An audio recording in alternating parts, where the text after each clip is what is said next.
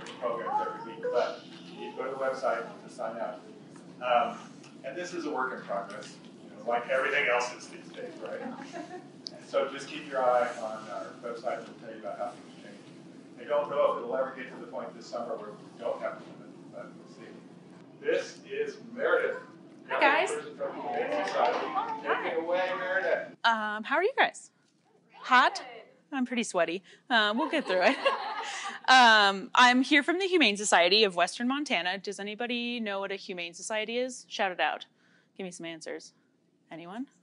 Humane Society, yeah. Um, I don't even know what that is, but we did the same program. You did the same program? That's pretty cool. Any guesses what a Humane Society does? Yeah.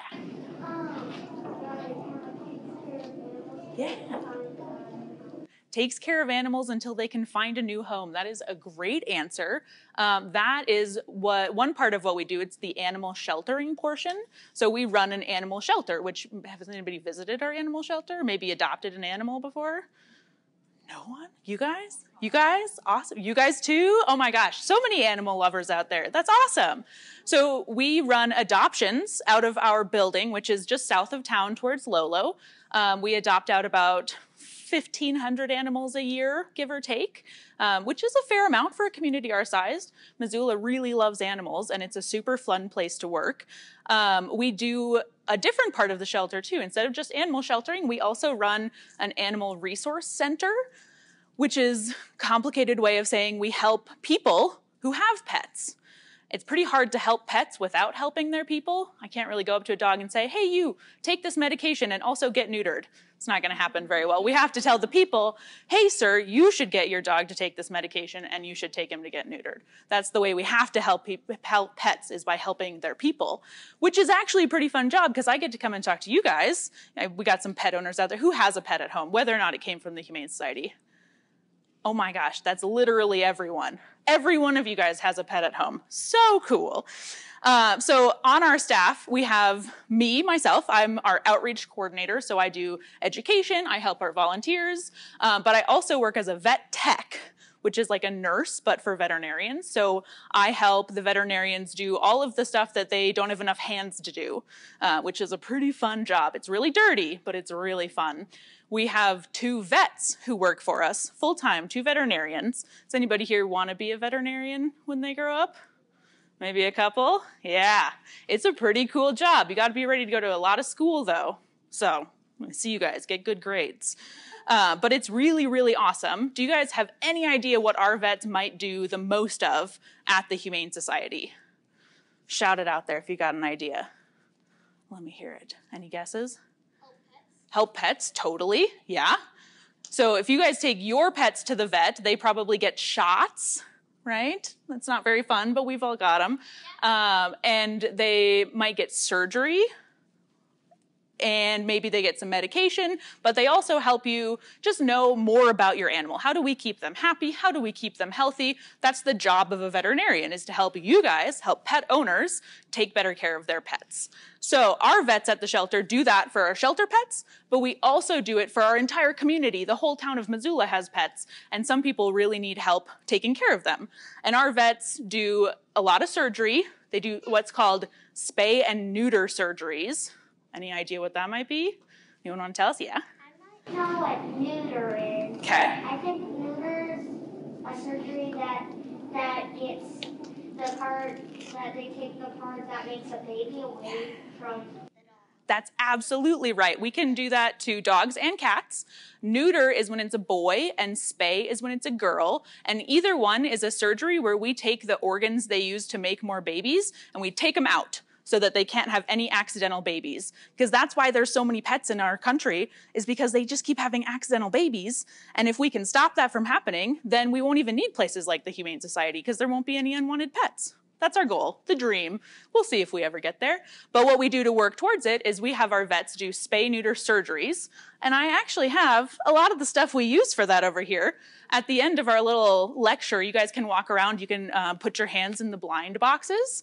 You can see if you can tell what's inside them. Nothing gross, I promise. but I do have some stuff that might be a little gross back here if anyone wants to look. Any of you future vets out there, if you want to see something pretty interesting, I can show you. Uh, but we've also we've got these guys over here. Do you guys have any idea what these are for? These are for surgery. These are the tools, the actual tools our vets use to do surgery on all our animals. Yeah, all the little things. So when we are done, you guys can come over and touch them and play with them and, give them a peek. Um, our vets do probably about a thousand to two thousand spay neuter surgeries a year, which is a lot. And that's more than I said we adopt out, right? That's more animals than are in our shelter. So what we do is we have a big RV looking thing, a giant bus, and we drive it all over the half of the state, all over the western half, and we go to places where there are no vets, like really rural communities. We go to places where there are too many pets, like reservations, or places where people have let their farm dogs or farm cats get out of control. And we just swoop in in our mobile vet unit and we spay and neuter and spay and neuter for three days straight and then head out again. And doing that, we get to do like a thousand more animals than we would see just through our, our clinic. So I have a coloring sheet for you guys too. When we're all done, you can color our mobile veterinary unit. It's called the Vaccinator. It couldn't come for a visit today because it's helping some cats right now, but you might see it around town. We're gonna be at Pet Fest later this summer with the Vaccinator, as well as at our summer event, which is in a couple weeks called the Firstival. Um, it's at Fort Missoula. If anybody's looking for something fun to do, July 11th, the summer festival. Um, the vaccinator is going to be there as well as face painting and uh, dog training demonstration, all kinds of fun stuff out at Fort Missoula. So let's get back to our veterinary stuff and our first aid because that's what you guys are here to talk about. Um, our vets do a lot of spay neuter surgery, but we also help pets when they come in. If something's wrong with them, like they've got porcupine quills, we'll yank those out. If they've got cuts, we'll stitch those up, things like that. But there's a lot you guys can do at home to recognize problems with your animal before they become big emergency problems. So we're going to talk about how to do first aid with your animals at home, probably using mostly our demonstration dog over there. Her name is Chug. Great. So the first stage of knowing when something's wrong is knowing when something's wrong. We look at Chug and we're like, oh, how's Chug doing? You think she's healthy? How could we possibly know? We look at three different things. We call them the vital signs. And it goes T, P, R. Can you do that? TPR. TPR. Any guess on what the T stands for? Teeth? No. Temperature. Ugh. That one's a really, really important one right now because if you might have not have noticed, it's really hot outside. So the first one we want to look at if, to see if an animal is sick is their temperature. Uh, now, I bet you guys have all been to the doctor and they do the little little digital thermometer to tell what temperature you are. Has anyone ever had that happen? Yeah. Do you think we can do that on dogs and cats? No, they've got too much fur. Maybe on like one or two that are totally naked, but most dogs and cats, like Chug, we can't do that. So I hate to tell you, do you guys know how we take their temperature? Do you? In their butt, yeah. So we are not gonna practice that today, okay? But we do that, but, did you guys hear that? No? Uh, we do that with a normal thermometer, just like this. This is my um, demonstration first aid kit that we're going to be going through while we do this. Uh, we do that just with a normal thermometer. We just make sure it's a separate thermometer than anything we might use for the people. uh, so when we check out their temperature, it's going to be a little bit hotter than what people are normally at because dogs and cats are a little bit smaller than us. And usually, the smaller you go, the hotter you get. And the bigger you go, the colder you get in animals. That's usually how it works. So dogs and cats, if they were humans, they would always have a fever, but it's normal for them. It's still really easy for them to get too hot though. Has anyone ever heard of that happening? Maybe? Do you guys know the number one reason dogs and cats get too hot? A lot of fur. That does not help. If you've ever seen a husky out in the summer, whew, I do not want to be that dog. That does not sound like very much fun any reason uh, like a, why an accident might happen that they get too hot? God, you got all the answers. That that can unfortunately happen if they actually get too hot. The number one reason why they get too hot is usually that they get left in a car and the windows aren't open enough or even if they're open all the way, the car's like a little oven and it heats up and heats up and heats up. And dogs and cats, I don't know if you know this, they can't sweat. We cool off by getting really sweaty and gross and the air and the heat evaporates our sweat away and that cools us down. That's how people and horses and pigs and a couple other animals, that's how they cool down. Do you guys know how dogs and cats cool down? They pant because the water on their tongue evaporates, but they can't sweat through all that fur. So they have to use their tongue to pant and cool down. They can also sweat through their paws. That's a cool one. So if you ever have a like a hot cat or a really nervous cat and they walk around on a table, they leave sticky little paw prints. We see that all the time at the shelter. They come in like, oh no, this is a scary place. And they got cute little cat paw prints. So um, I have a little experiment for you guys. I'm going to come around if anyone is willing to participate in my experiment, and I'm going to put a little bit of alcohol on your arm, okay? And I want you guys to blow on it, okay? Anyone want to participate? You down? Okay. And blow on it.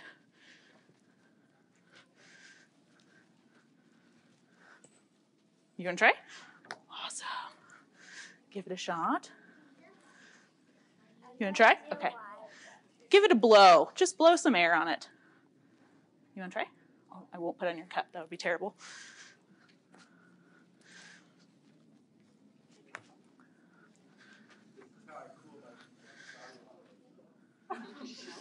You wanna give it a shot?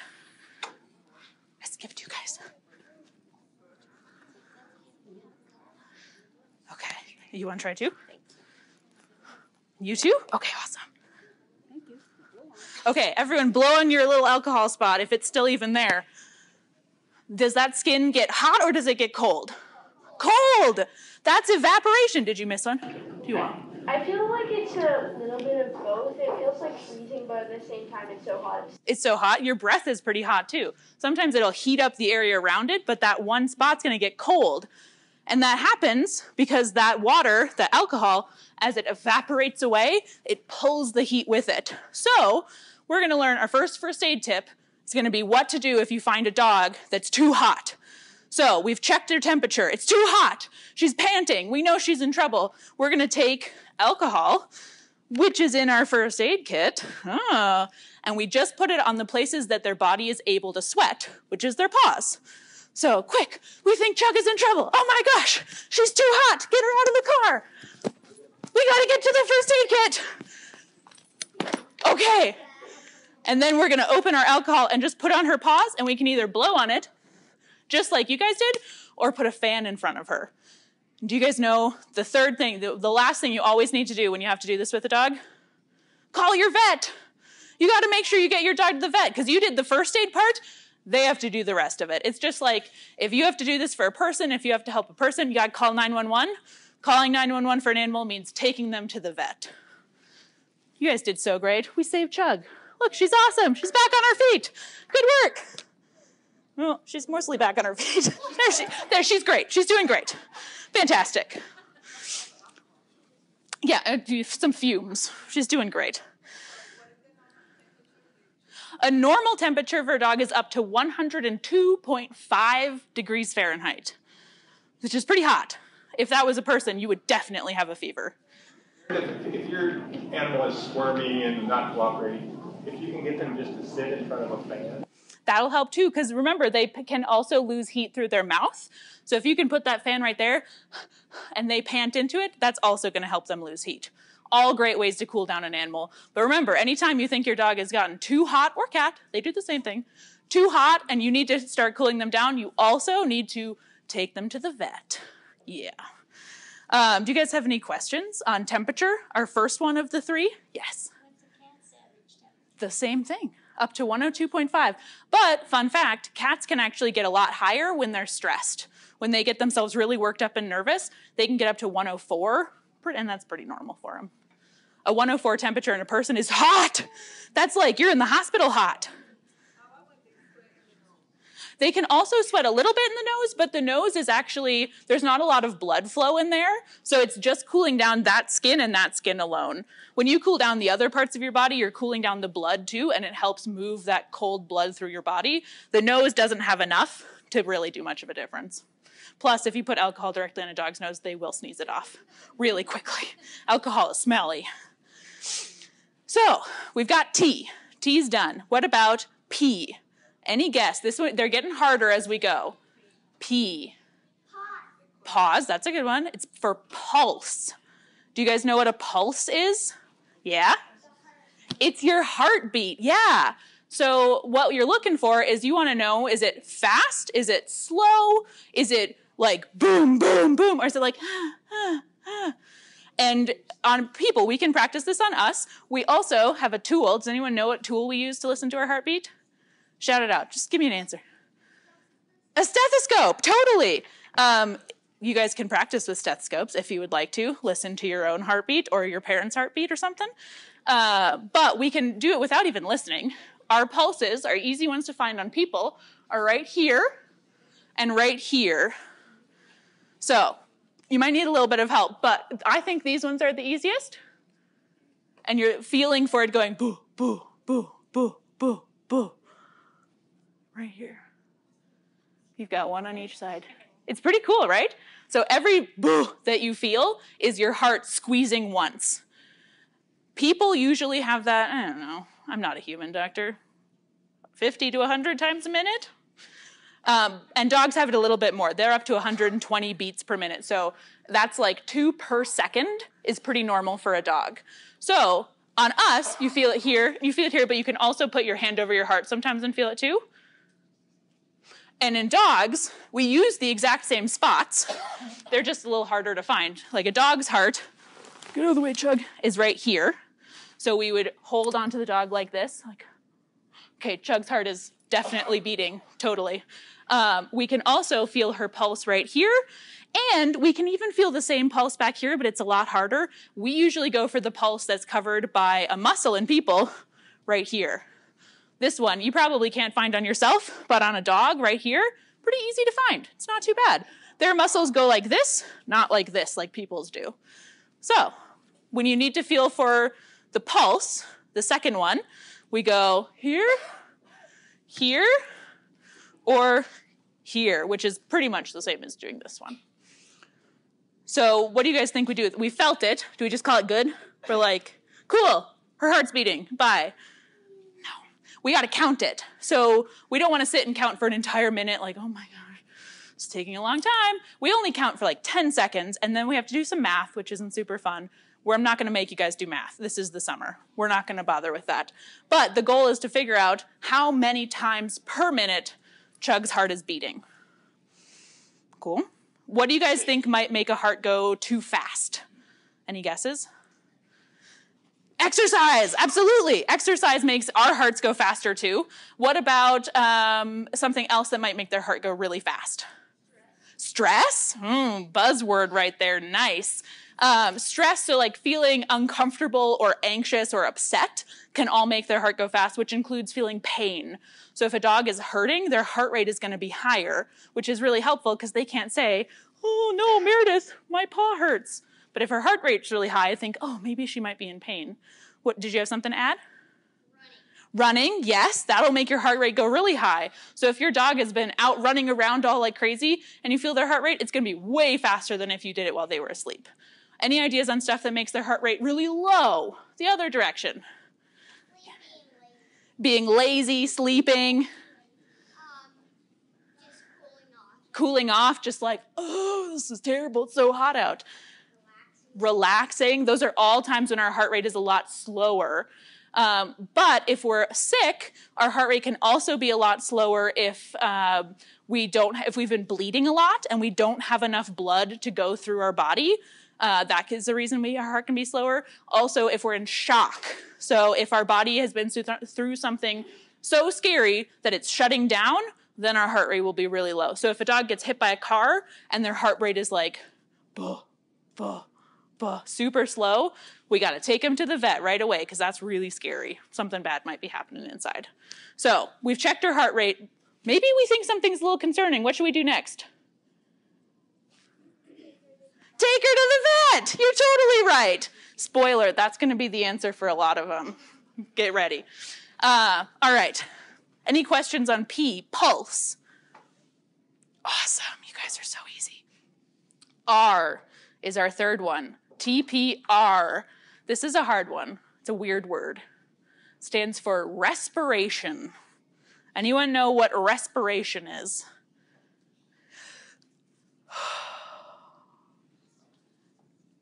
breathing, totally. Every time you inhale or exhale, you're respiring. So we do the exact same thing we do for the heart rate, um, but you sometimes don't even have to feel. You can just look and watch a dog or a cat breathing. It's pretty easy. Um, you can also hear breaths with a stethoscope. You can hear the actual sound of the air moving through the lungs, which is pretty cool. And you guys can practice on yourself too if you'd like to. Um, any idea what might make breathing go super fast? Running outside for too long. Running outside, totally. Being super hot, yeah, they might not be related to exercise at all. Maybe they're just really hot, they're trying to cool off. Riding a bike, that would definitely get my breathing going fast, that's for sure. Uh, any other ideas why they might breathe really quickly? Dog races that'd be cool too yeah. Um, same things with the heartbeat. If they're really stressed they can start panting. If they're really painful they can start panting. All of those things are reasons why they might go up enough that they start really panting. Uh, the slowest time that we're breathing anyone know? The slowest breaths. Relaxing. relaxing. When you're asleep when you're dead asleep that's the slowest you ever breathe. Totally asleep so those are the three things. Let's shout them out. T, temperature. P, pulse. R, respiration. So if you ever think an animal might be sick, those are the three things to start by looking at. Temperature, pulse, respiration. Uh, but there's a lot of other stuff that can go wrong. Any idea on other things that might be like, oh my gosh, take them to the vet immediately, emergencies?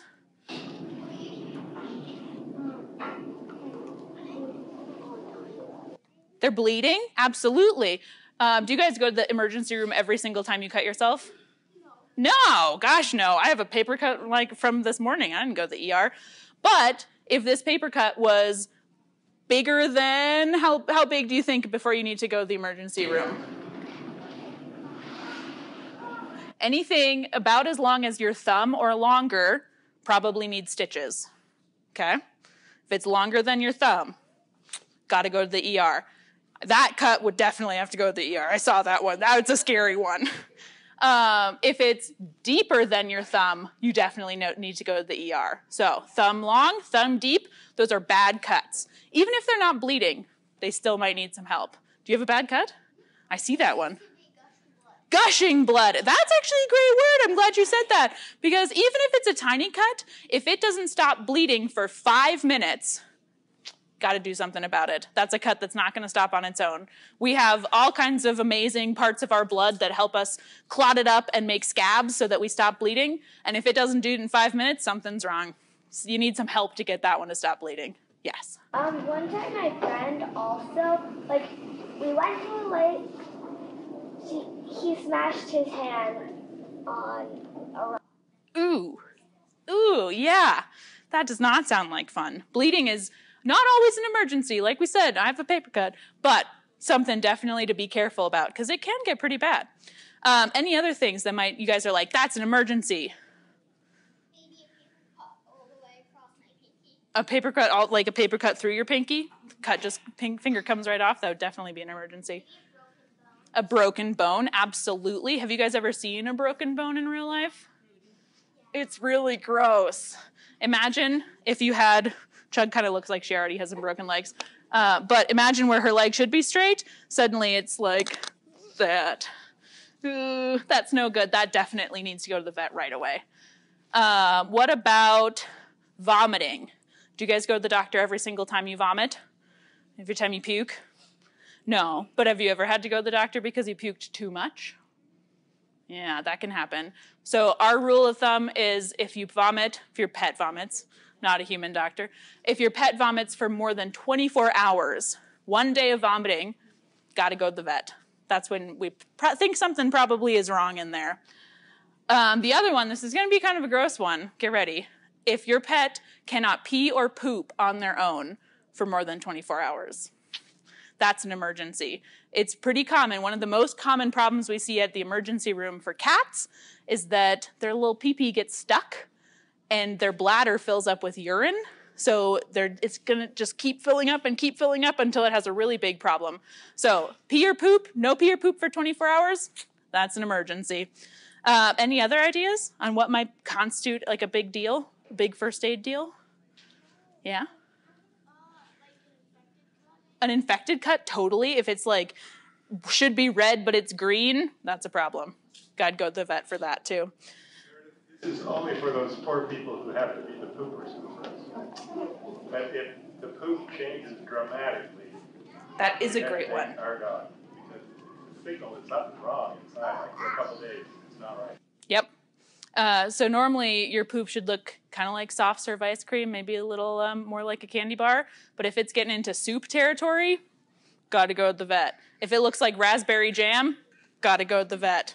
Told you it was going to be gross, guys. Told you. I warned you. Um, so I have, let's see, we've got a first aid kit up here. I'm going to go through the rest of it, and you guys can tell me what you think we might need to use it for. I'm going to set my friend Chug down, though. She's not very good at first aid. Uh, so we talked about our thermometer. We talked about our alcohol. That's pretty much the only time that you use alcohol in a first aid kit. Have you guys ever gotten alcohol in a cut or hangnail or anything? Ouch! It's terrible. It hurts so bad. Um, we do have peroxide in our first aid kit. Do you guys know what we use peroxide for? You can use it to clean stuff, but in dogs, we use it to make them throw up when they've eaten something bad. So, like chocolate, rat poison. Um, my dog recently ate three corn cobs, and I knew those were not going to make it all the way through the other end. Those had to come out the same end they came in. Uh, and peroxide can help make them throw up whatever gross thing they just ate. Um, that's definitely something to talk to your vet to figure out how much to give your pet, but it's a good one to have in your first aid kit. Yes. Grapes, Grapes, we have to make them throw up if they eat grapes, if they eat macadamia nuts. My gosh, there's a long list. Avocado. Um, I had a dog eat a fishing like fishing hook one time. All kinds of stuff. Um, this is one you guys will get to practice with today. Guys, what do you think we use this for? Yeah. Wrapping their legs, yeah. So over where Chug was to start with, we've got some materials over there. You guys can pull them apart, practice wrapping up Chug, practice putting some band-aids on her. We also have gauze to go underneath because this isn't gonna do a whole lot. This is like the brown part of a band-aid with none of the white part of the band-aid. We have to put the white part in ourselves for animals, like that. Uh, we also have tweezers in our first aid kit. Any idea? This these are very relevant right now. Do you know what we use these for? Helping um, inside body parts. Inside. Okay. That. Yeah. Totally. Ticks. Oh my gosh. We went on a spay neuter trip two weeks ago, and do you guys know how many ticks we pulled off? 356. Yeah. Uh huh. Yeah, lots of ticks out there right now. These are an important one. Um, we also have a syringe, and you guys will get to take home your own syringe for your own first aid kit that you can get started today. You guys know what we might use this for? It's got a lot of purposes. Uh, we can use it to give our peroxide when our dog needs to throw up. We can also fill it up with clean water to flush out a wound. If we've got a cut and there's dirt in it, you can use this to push water into it and help clean it out. Very useful. Yeah.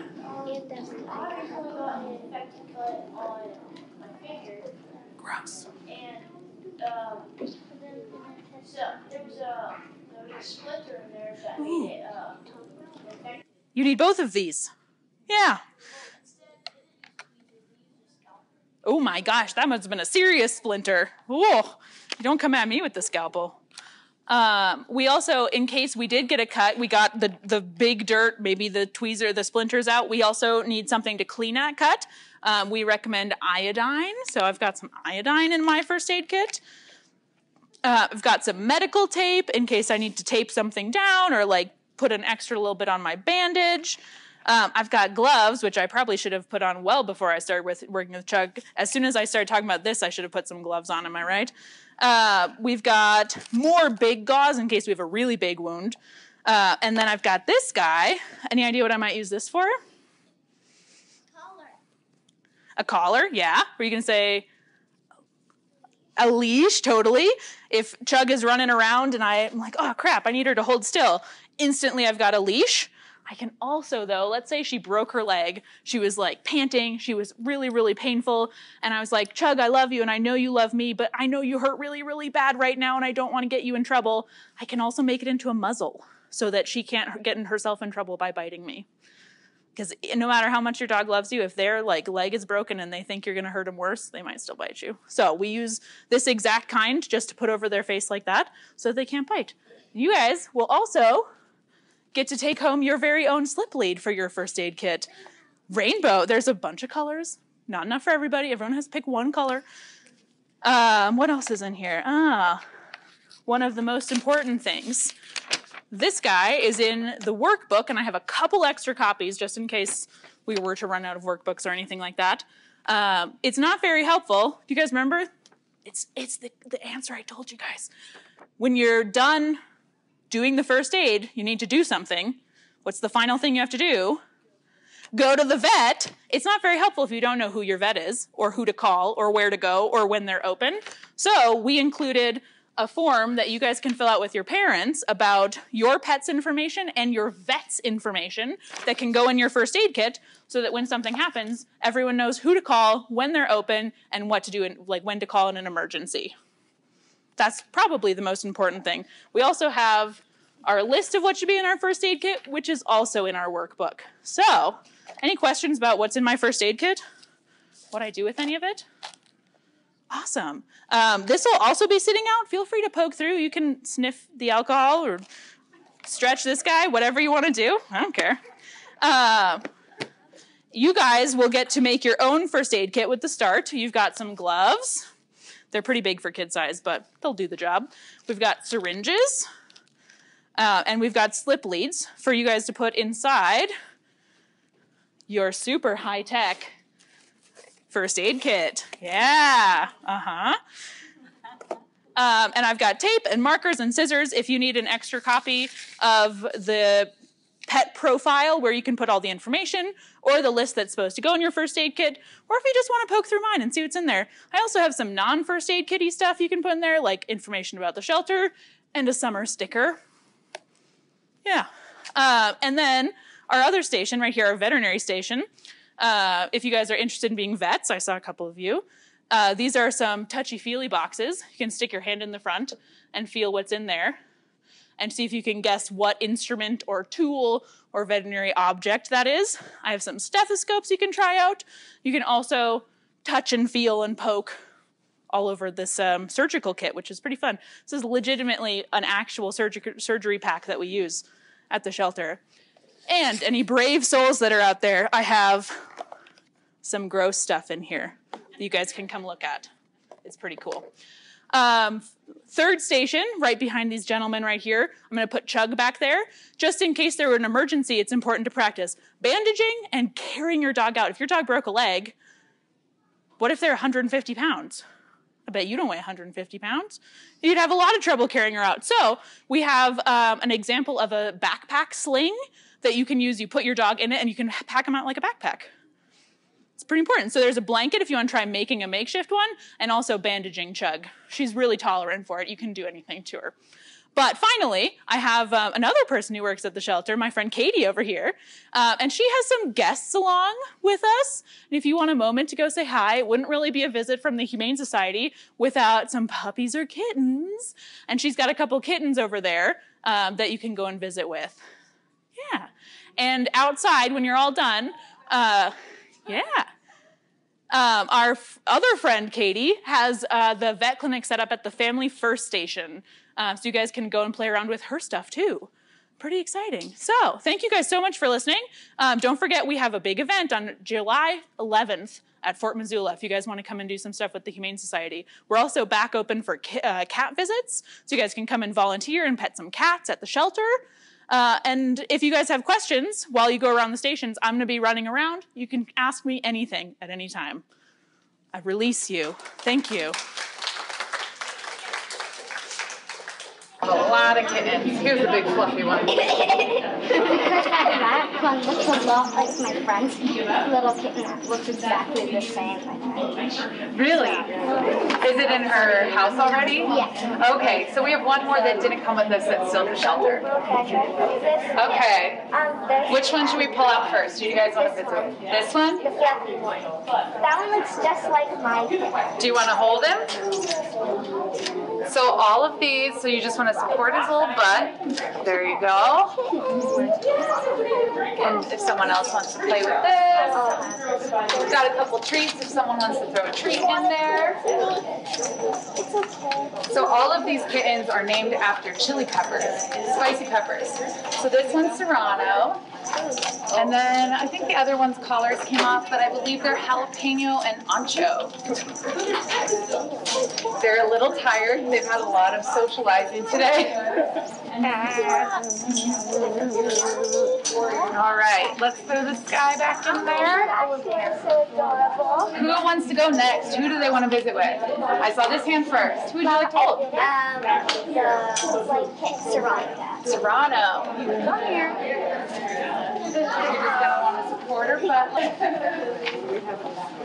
I need to go put Chug back at her station. She's so obedient. She stayed right where I left her.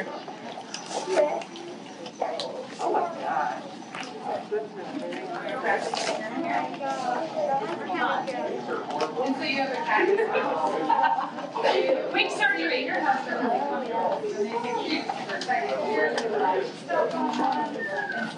So might be able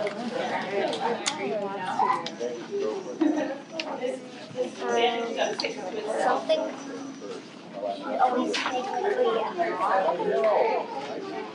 Wanna stick your hand in? She's not very flexible. You want to volunteer? Just come to the shelter.